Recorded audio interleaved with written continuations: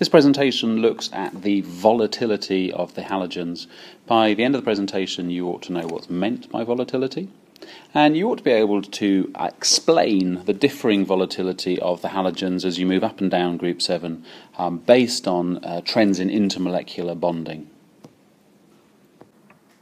Let's look at this word volatility then. It's, it's a word that's used in everyday English, um, but not in a way that meshes very well with its chemistry meaning. If you were to say a substance was volatile, uh, the average person might think that you mean that it's very reactive or even explosive, but that's actually not uh, what we mean in chemistry by volatility. So, what do we mean?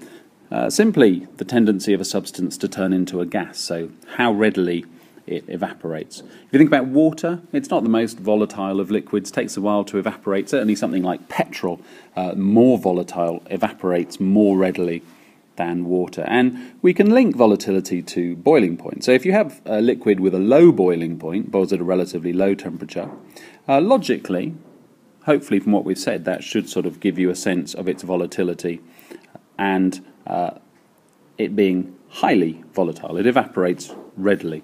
Conversely, then, something with a high boiling point uh, logically has a low volatility. It doesn't evaporate so readily. So, what about the halogens then? How does their volatility compare as you go down the group? Remember that the halogens, as elements, are a molecular substance. And so, in order to think about their physical properties, we'll think about the intermolecular bonding between them. Uh, so, let's, let's work through that together. Um, first of all, halogen molecules, Cl2, Br2, that kind of thing, um, are they going to be polar molecules? Pause the video and have a think for a moment. Hopefully you decided that they'll be non-polar. You've got two identical atoms attached to each other, uh, so there can't be any difference in electronegativity, and the electrons in the covalent bond between two atoms will be equally shared. What about the type of intermolecular bonds then that you'll get between halogen molecules? Again, pause the video, have a little think. What sort of intermolecular bonds will you see between halogen molecules? Hopefully, you came to the conclusion there'd be instantaneous dipole induced dipole intermolecular bonds. That's, that's our only option uh, if we have non polar molecules. Uh, so, we've got this problem in a way that, that all the halogens are going to have the same type of, in, of intermolecular bond between the molecules. So, we're going to have to look somehow of a trend within that intermolecular bond.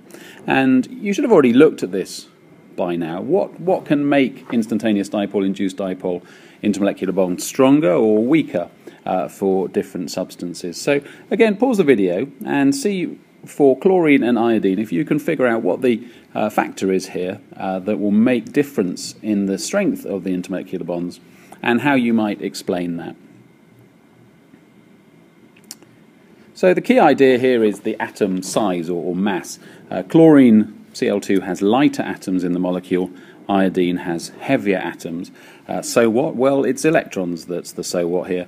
The lighter atoms have less electrons, and the heavier atoms have more electrons. Again, so what? Well, uh, this then relates to the size of the dipoles they form. Chlorine, with its fewer electrons, um, as they move around randomly, you'll get smaller instantaneous dipoles forming, so smaller induced dipoles, um, and iodine, the opposite. With more electrons, we can get these bigger or stronger uh, instantaneous and induced dipoles forming. Well, so what? Again, uh, and we need to relate this to energy. With the with the smaller dipoles in the chlorine molecules, uh, you'll get less attraction between the molecules, a weaker attraction, and so it'll take less energy to break the intermolecular bonds. The opposite story is true for the iodine. With the larger dipoles, it will take more energy to break the intermolecular bonds between the iodine molecules. So this means that the chlorine will be more volatile and the iodine will be less volatile. You can see then, looking at this uh, image for the halogens, as you move down the group, uh, we start with fluorine with very low melting point in orange uh, and boiling point in blue, well below zero degrees C. Uh, and then moving down the group, we end up uh, moving well above zero degrees C to relatively high melting and boiling points. We've said that uh, the volatility of the halogens decreases as you go down the group because you've got increasingly strong instantaneous dipole, induced dipole intermolecular bonds between the molecules. Uh, so chlorine is a gas at room temperature. Uh, we've already said that it's a green gas at room temperature. Bromine, when we talked about its state at room temperature before, we said it was a liquid, um, but actually it's still relatively volatile. Uh, these intermolecular bonds are still the sort of weaker instantaneous dipole, induced dipole intermolecular bonds.